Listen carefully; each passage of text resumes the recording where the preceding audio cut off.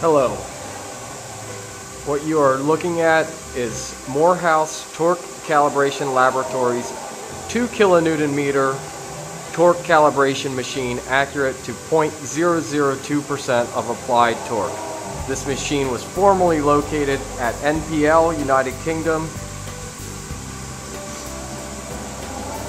Currently the weights are being removed from a 2000 Newton meter torque cell.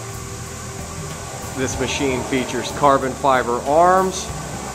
The torque is transferred from the arms through a boron tape across a air bearing which is frictionless to a chain loaded weight stack. The system has its own control cabinet. Tells us what exactly is applied to each weight stack. For more information, please visit www.mhforce.com.